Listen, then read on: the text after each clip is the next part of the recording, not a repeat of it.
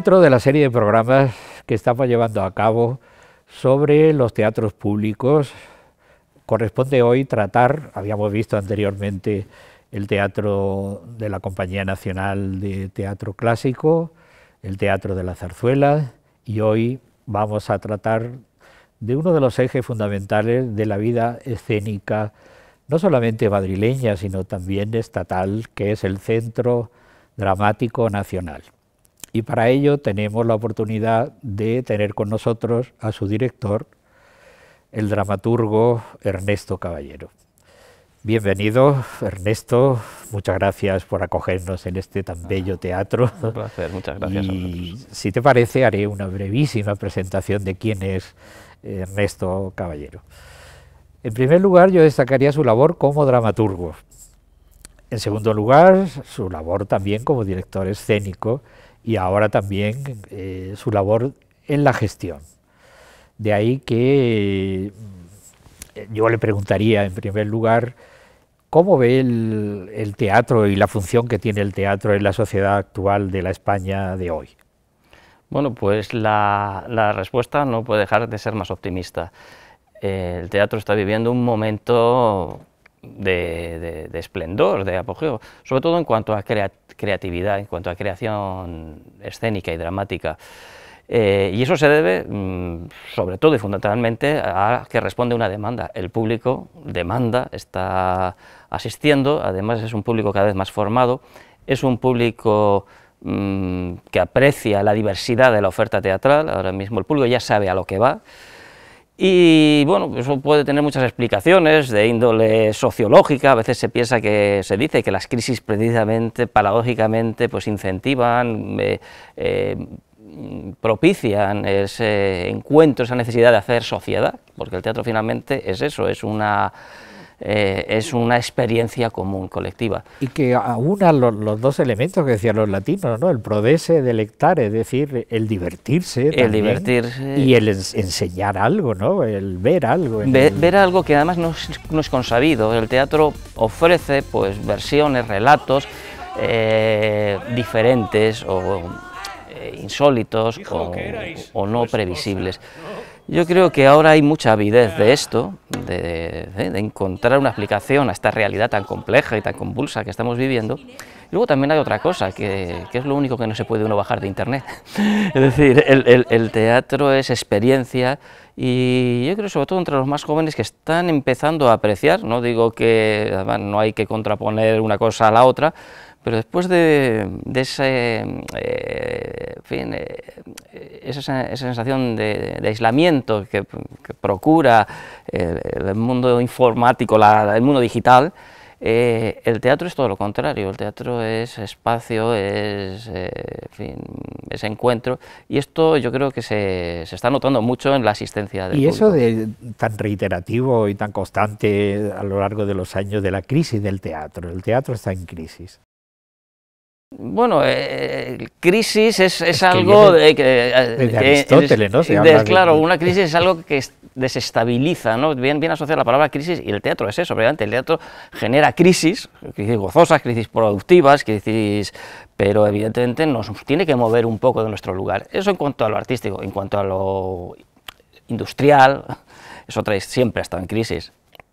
Pero realmente el teatro es una actividad de, siempre, de, el suplantar al otro, el contar narraciones a través de otro, ha estado desde, el nacimiento de la, humanidad y que ha ido perviviendo además con un esplendor estupendísimo a lo largo de la historia. Eso, es un gran invento, ese es el momento en el que además, esto dice que lo inventaron los griegos, por lo menos tal como lo entendemos nosotros en el mundo occidental, y es verdad, desde el momento en que alguien eh, decide observar y colocarse en un lugar eh, desde afuera, extrañarse y ver a dos dialogar. Y esto es realmente un gran progreso para la humanidad. Uno de los aspectos que quizá puedan interesar es ver qué diferencias hay entre la vida escénica proyectada, apoyada por los centros oficiales, es decir, el teatro público que se llama, del teatro ya privado o como un elemento empresarial más. Sí, bueno, son distintos, distintos ámbitos. eh, eh, lo que sucede es que la actividad es la misma y es una actividad pública, es decir, que las relaciones entre el teatro privado y el teatro público deben ser fluidas, deben existir vasos comunicantes, pero es cierto que las eh, áreas de actuación son diferentes. En principio, un teatro público debe asumir lo que no puede asumir el teatro privado. ¿Qué es lo que no puede asumir el teatro privado? Pues fundamentalmente el gran repertorio, el gran repertorio, en nuestro caso es el gran repertorio contemporáneo, eh, Lorca, Valle Inclán, Maxao, Javier Poncela, Chekhov, eh, Dostoyevsky, etcétera. Es decir, los, los grandes. ¿Cómo vas a poner eh, no se puede. en un teatro privado una obra con repertorio de 40, eh, Ionesco, de 30, eh, Bertolt Brecht, el Montenegro, Montenegro, Valle.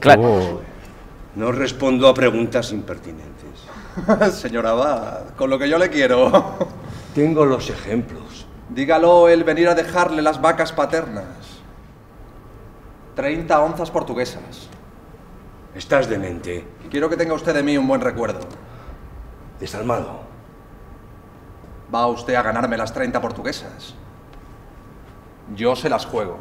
Claro, todo esto es el sentido que tiene y es es la oferta a la ciudadanía, es decir, un teatro de altura, eh, de, de gran magnitud, que no puede asumir el teatro privado. Y por otro lado, el teatro público también debe asumir riesgos en el sentido de que debe impulsar la dramaturgia o el teatro más reciente, es decir, lo más eh, innovador, voces nuevas. Porque eso tampoco el teatro privado puede arriesgar tanto, o no se le puede exigir El tanto teatro riesgo. privado suele ir a, a grandes obras de, de- de fama, digamos, De y sobre todo a grandes actores que inter- Grandes actores y repartos, pocos, y eh, repartos eh, reducidos, repartos. claro. De ahí que entonces el teatro público en España, eh, eh, desde el punto de vista organizativo, eh, está bien pla- planificado, ¿no? puesto que es la Compañía Nacional de Teatro Clásico la que cubre todo ese amplísimo y riquísimo panorama de teatro de nuestro siglo de oro, incluso está llegando hasta ya el 18 Hace- y el- incluso el 19, incluso. Porque tú dirigiste, por ejemplo, Los Sainetes de Ramón de Y- la y Cruz. la Comedia Nueva. Yo y la Comedia Moratín Nueva. en- Y la Comedia Nueva, que, que es un- fue un, un- digamos, un golazo, porque realmente es uno de los textos fundamentales. Y se hacía eh, décadas, décadas eh, de que no se representaba. Atesoran tantos males cuantos en el mundo son. De ahí que el Centro Dramático Nacional se dedique a autores ya del siglo XX. Del 20, el 20 y el 21. y el 21. Exacto. lo- Eso es. Y dentro de, de- de es- de esta pro- programación podríamos decir que también habría dos vertientes, ¿no? La de los considerados clásicos, como es el caso de Valle, como es el caso de Lorca Buero Vallejo. y Bueno Vallejo. Habréis de aprenderos 10 canciones. La melodía es sencilla. ¿Quién es el cantor? Al pronto no os distingo. ¿Preguntan por ti? ¿Por mí? ¿Eres tú el que canta? Sí, señor. Es que es algo inocente. Mi nombre es Pajarillo. Pues tú, pajarillo, aprenderás las canciones de oído. Sabrás. Uy, si no hago otra cosa. Porque también hubo una. Cuando se celebró el centenario de Güero, Sí. también hubo una crítica, digamos, que no se atendió a puestas en escena de, de Güero, que no se ponía de la historia de una escalera que se puso. Se puso aquí, sí, sí, sí. Eh, es decir, que los clásicos, ¿no? Sí. Pero también vienen las voces nuevas, ¿no? Que eso es lo que es muy importante. El teatro, bueno, ahora hablaremos de, las dos salas que tiene, y digo el centro dramático, y eso es una de, las- cosas que es necesario hacer, ¿no? Que la función pública también eh, proteja, ayude y, promueva ¿no? la creación de voces nuevas. Efectivamente, el Centro Dramático lleva ya tiempo comprometido con, con esa circunstancia y además eh, yo quiero destacar el hecho de que eh, mm, en, en este empeño por, por dar voz, o por impulsar las voces nuevas, eh, sorprende que la gran, la- el gran número de dramaturgas. Es decir, que esto ha cambiado mucho y también es una, un- un- una seña de nuestro tiempo que afortunadamente, eh, digamos, en el mundo del teatro empieza, todavía queda mucho por hacer, pero empieza en ese sentido a alcanzar esa, esa igualdad que en otros claro, momentos no, no ha una existido. floración increíble de, de- de Sí. voces jóvenes y no tan jóvenes de dramaturgas, ¿no? Efectivamente. A eso nosotros hemos dedicado un seminario dedicado es- es- junto con la Universidad de Toulouse y la Universidad de Gießen de Alemania para ver la proyección que tiene la dramaturgia femenina, de la cual vamos a hablar posteriormente con Laila Ripoll, si te parece. Entonces, eh, la- el centro tiene dos teatros, digamos, de- con diversas ramificaciones internas. Por una parte, el Teatro eh, María Guerrero, donde estamos, y eh, el otro teatro de, de Valle Inclán. Este teatro tan bellísimo, que fue construido en 1885-86, no me acuerdo muy bien, pero que ha ido teniendo, y además que se llamaba el, el de la princesa, ¿no? el Teatro de la Princesa, y cuando lo compra el marido de, de María Guerrero por diversas circunstancias, llega, el nombre lo toma de, de esa gran actriz que es María Guerrero. Entonces, en este teatro María Guerrero hay dos espacios escénicos, ¿no? Sí. El- la sala principal aquí donde nos y la de la princesa, retomando el nombre antiguo, ¿no? Exacto.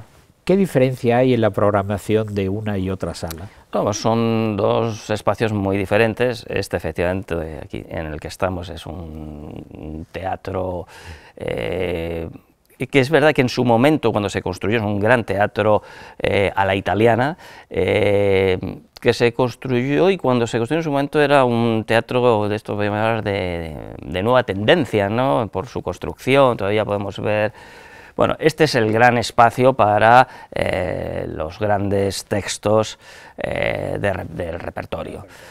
El Teatro de la Princesa es un espacio de cámara, es un, un espacio reducido, es un teatro pequeño donde eh, programamos pues, eh, obras que requieren esa intimidad, ese intimismo, repartos más reducidos y sobre todo, eh, ahora mismo está claramente destinado a esa dramaturgia llamada emergente o a ese teatro de nuevo cuño que está en fin, floreciendo en fin, con mucha pujanza. Y pasamos al otro espacio escénico, que es el Teatro Valle Inclán, con ese nombre tan, tan... Porque claro, Valle es el gran dramaturgo que tenemos eh, eh, en estos, este siglo XX, ¿no? Eh, que, eh, entonces ahí también hay diversas ramificaciones del, de- eh, del Teatro Valle Inclán, con la sala Francisco Nieva, con el- la de Mirlo Blanco, eh, es decir, en primer lugar entonces, ¿qué diferencia hay entre la programación de, de- de este, digamos, vetusto en el sentido artístico del María Guerrero con la Sala de Princesa, con el Valle Inclán y sus aláteres? Bueno, eh, en principio la- el, el espacio eh, del Valle Inclán permite disposiciones que no son a la italiana, no son convencionales. Muchos espectáculos, muchos espectáculos tienen, eh, plantean necesidades escénicas eh, que solamente las puede cubrir eh, Teatro Valle Inclán. Eh, por otro lado, eh, es cierto que, que tenemos tres salas eh, en el Teatro Valle Inclán. La Mirlo Blanco, que es un espacio también de cámara, donde pues, solemos llevar a cabo trabajos sobre todo de laboratorio. Hemos creado en el Centro Dramático un laboratorio. Y además eso es estupendo porque lleva un nombre, ¿verdad? Sí, el de- Rivas Sheriff, que fue Claro. un gran renovador de la Pues, escena. y- Claro, claro. Y además considerado uno de los primeros directores realmente. Efectivamente, sí mismo, ¿no? en el sentido moderno, eh, eh, Valle eh, Rivas eh, pues fue un pionero. En la sala de Menlo Blanco, que inauguró Nuria Sper en su, en su momento, bueno, pues llevamos a cabo este tipo de actividades. Luego tenemos la sala Francisco Nieva, que es una sala de medio formato, donde generalmente estrenan autores españoles ya con unas trayectorias consolidadas, y por otro lado el espacio, como decía, más polivalente, el espacio eh, más amplio, la sala Valle Inclán, donde bueno, pues también eh, llevamos a cabo eh, una programación de, de teatro repertorio, a lo mejor, en este sentido, a lo mejor con un componente un poquillo más de riesgo, modernidad, De eh, nuevas de- tendencias de, nuevas escénicas. tendencias, sí, exactamente. que realmente fue el teatro que hubo, el Olimpia. El Olimpia, efectivamente. Dentro de la, de, de la estructura interna de- del Centro Dramático Nacional, eh, más o menos, ¿cuál es el presupuesto que puede tener durante anual este centro? Bueno, es un presupuesto, se puede hacer un, monto global porque es un, presupuesto que está muy diversificado, porque existen varias partidas. Hay una partida para eh, eh, escenarios, es decir, para exhibir y producir teatro, para mantener la estructura, para mantener los edificios. Entonces, que en ese sentido es, es difícil cuantificarlo. Podríamos, en global, hablar como de 17 millones de euros aproximadamente. ¿Y número de personas que trabajan en el centro? Eh, fijas, porque claro, eh, la contratación es permanente, Pero, pero fijas se andará por 240 o 150 y que el centro no solamente produce, que también produce, sino que también invita a compañías foráneas. Eh, Voltaire y Rousseau eh, dirige y protagoniza a Josep María Flotats y efectivamente es una compañía invitada. Y alguien de talento, que sería a la vez enemigo de los pastores protestantes y me querría mal. Sí, claro. El círculo se cierra. Y luego después una labor que también a nosotros desde la universidad nos interesa mucho, que es las publicaciones. Sí. No, esto es, nosotros estamos muy empeñados. Es un gran proyecto que, lleváis a cabo. Sí, tenemos de, distintas líneas eh, y una que la hemos titulado Autores en el Centro, que son precisamente la publicación de los autores que pasan. Que se han puesto en escena. Y eso está muy bien. ¿Y los cuadernos pedagógicos? Los cuadernos pedagógicos es también otra de las joyas de la corona, porque además los demandan, cada vez se demandan más los institutos, los profesores, y son unos en fin, unas publicaciones que llevamos a cabo con cada montaje para explicar un poco pues todo el, el, sentido de las obras, de las, puestas en escena, etcétera. Y también es muy importante lo que es los encuentros con los espectadores. Sí. Eh, esto, esto, es lo que se llaman actividades de mediación y eso constantemente lo hacemos, no solamente eh, al final de las representaciones de una manera constante, sino incluso los lunes. tenemos un programa que titulamos Los lunes con voz que eh, reunimos pues, una serie de expertos, especialistas, para hablar sobre la temática que suscita la puesta en escena que en su momento se puede disfrutar en el teatro. De ahí que la labor que se lleva a cabo dentro de este Centro Dramático Nacional es una labor muy importante, no solamente para la vida del teatro, sino para la vida cultural de un país, puesto que los países tienen que cultivar sus elementos de inmateriales, como es en este caso culturalmente el teatro, y que sirve, como o decía nuestro querido García Lorca, eh, que el teatro está para hacer llorar y para hacer reír, pero también para cambiar, para que cada uno de nosotros. Y la labor que está llevando a cabo este centro, con todas las imperfecciones que pueda haber, como siempre, en cualquier tipo de. pues es muy significativa y queremos darle el realce que merece. De ahí que muchas gracias, Ernesto, por acogernos y por servir para que este, el teatro sea mejor conocido y mejor amado. Muchas gracias, muchas gracias a vosotros. Estáis en vuestra casa.